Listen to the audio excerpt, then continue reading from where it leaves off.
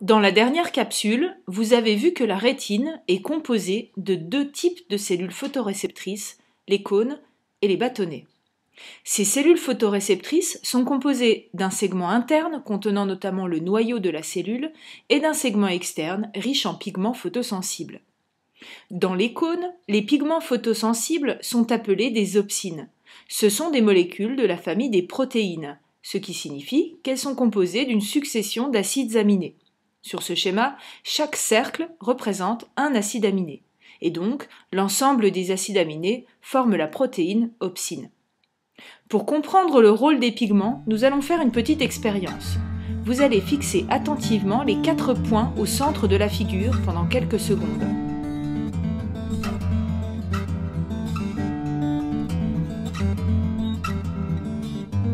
Vous venez de voir apparaître Jésus devant vous. Mais alors, comment l'expliquer?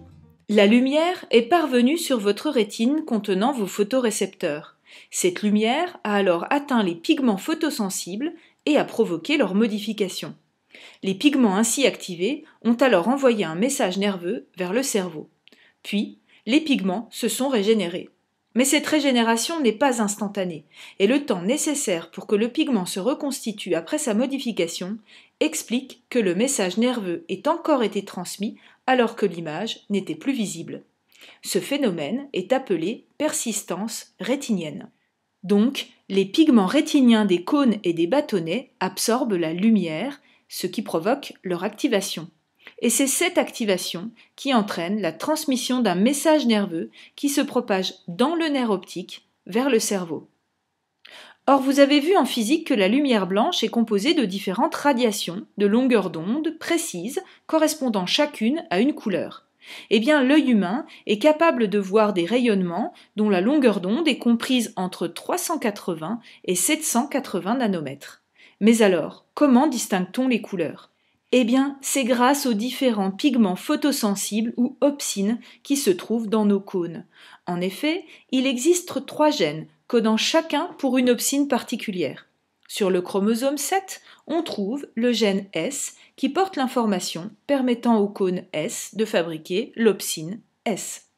Sur le chromosome X se trouvent les gènes M et L qui portent l'information permettant aux cônes M et L de fabriquer les opsines M et L. Vous allez voir grâce à ce graphique que le taux d'absorption de lumière varie en fonction de la longueur d'onde pour chaque photorécepteur. Par exemple, les cônes S contenant l'opsine S vont absorber les radiations correspondant à la couleur bleue. Les cônes M contenant l'opsine M vont absorber les radiations correspondant à la couleur verte. Et les cônes L, quant à eux, sont les seuls à pouvoir absorber les radiations rouges. Vous voyez donc ici que chaque opsine présente un maximum d'absorption pour une longueur d'onde. Mais vous voyez aussi que les différents spectres d'absorption se chevauchent. Par exemple, pour une longueur d'onde de 500 nanomètres, les trois types de cônes sont stimulés, mais à des degrés variables. Les cônes S sont stimulés à 10%, les cônes L à 55% et les cônes M à 70%. Ainsi, le message transmis par les différentes cellules photoréceptrices permettra de distinguer les différentes nuances de couleurs. Pour bien comprendre comment on peut voir les couleurs, prenons l'exemple de deux primates, le chimpanzé et le saïmiri. Ces deux espèces présentent un gène S sur leur chromosome 7 et un gène M sur le chromosome X. Mais le chimpanzé est le seul à avoir un gène L sur son chromosome X. Donc, le chimpanzé détient l'information pour fabriquer des opsines S, M et L, alors que le saïmiri ne peut lui fabriquer que des opsines S et M.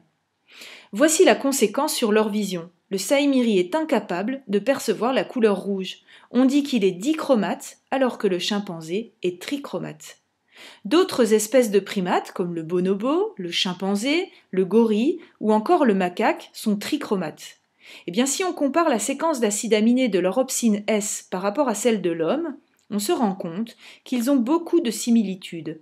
Regardez, plus de 95% des acides aminés de leurs opsines sont identiques aux nôtres. Cette observation nous confirme donc bien un lien de parenté entre l'homme et les différents primates. Ainsi, nous pouvons dire que nous descendons tous d'un même ancêtre commun.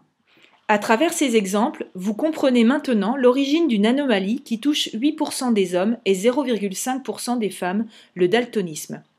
Voici le même tableau observé à gauche par un individu non daltonien et à droite par un individu daltonien. Vous voyez que la personne ne perçoit pas les couleurs rouges. Ceci s'explique par une absence des opsines L dans ces cônes. Cette absence est souvent due à une mutation dans le gène L du chromosome X.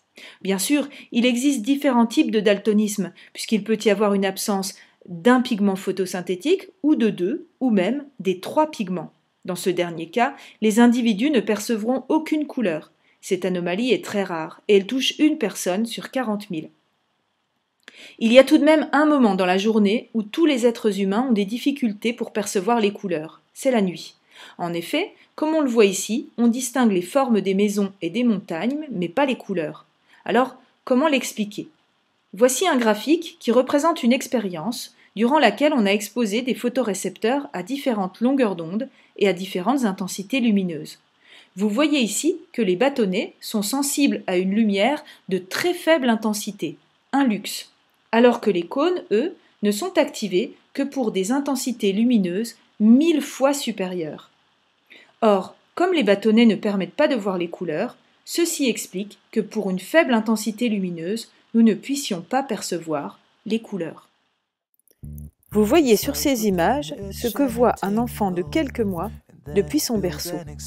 Eh bien, lors du prochain cours, nous étudierons comment évolue la vision des bébés au cours des premiers mois de leur vie.